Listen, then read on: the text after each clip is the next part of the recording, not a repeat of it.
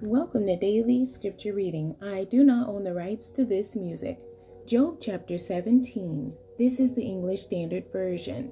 Job continues Where then is my hope? My spirit is broken, my days are extinct. The graveyard is ready for me. Surely there are mockers about me, and my eye dwells on their provocation. Lay down a pledge for me with you. Who is there who will put up security for me? Since you have closed their hearts to understanding, therefore you will not let them triumph.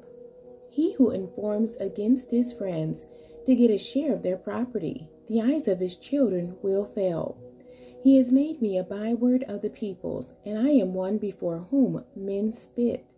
My eye has grown dim from vexation, and all my members are like a shadow.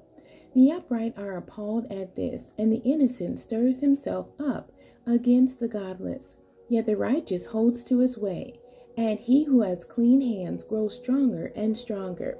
But you, come on again, all of you, and I shall not find a wise man among you. My days are past, my plans are broken off.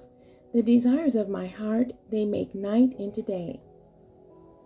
The light, they say, is near to the darkness. If I hope for Sheol as my house, if I make my bed in darkness, if I say to the pit, You are my father, and to the worm, My mother, or my sister, where then is my hope?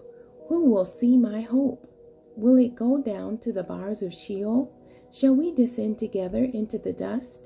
The end. God bless you and thank you for joining me today.